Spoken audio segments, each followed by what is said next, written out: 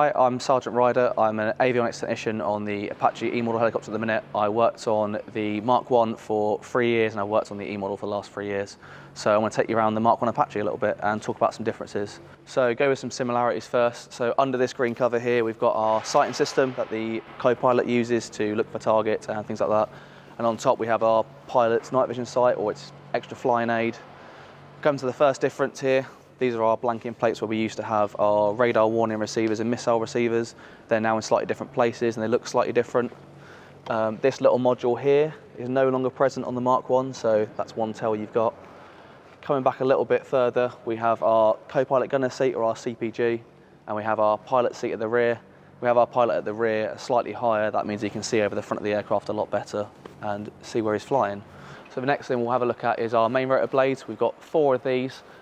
Also at the tip of the blades, they're slightly swept back. And one thing you might not realise about the Mark 1 is that the blades are six inch shorter than the E-model ones, which actually makes it them slightly easier to move around for ground crew inside the hangar without um, crashing into each other. Internally, there's quite a lot of differences you won't see about. Um, for example, everything internally on a Mark 1 is painted yellow, whereas on a E-model it's like a lime green.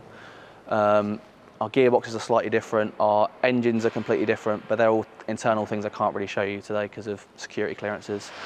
If we come back further along the wings, one of the most obvious tells if you're a spotter is um, at this part on the wing on an E model, you'd have an antenna for our Link 16 system. There'd be one right here and one on the other side of the aircraft. Uh, if we come further back again, uh, everything back here is completely the same. You wouldn't know the difference. Here we have what we used to call our, well, our radar warning receiver systems. On a E model, they're in slightly different places. So these bulb, bulbous parts aren't here. And on the left side, you'd see what we call an egg beater. It's like a, a little whisk, black looking thing.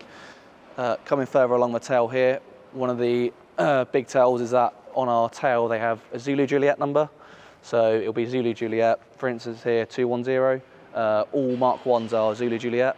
Uh, and all E, model, e models you'll see are Zulu Mike, uh, starting at 700 and working all the way up to Zulu Mike 750. Um, that's the Mark 1. Thanks for watching. For more from Forces News, like and subscribe to our channel.